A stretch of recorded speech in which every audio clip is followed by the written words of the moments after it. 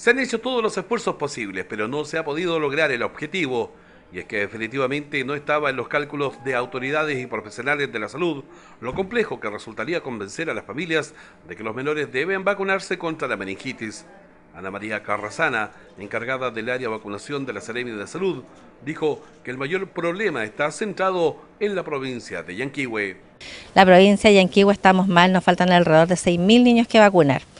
Eh, yo quiero hacerle un, llamado a las, a las, madres, a las cuidadoras o a los padres, ¿cierto?, de que vacunen a sus hijos para que estén protegidos a la entrada del invierno. La profesional atribuye al buen clima y las vacaciones de algunas familias el relajo en el tema y el creer que no es necesaria la dosis para los más pequeños. Sin embargo, advirtió sobre los riesgos que tiene esta enfermedad.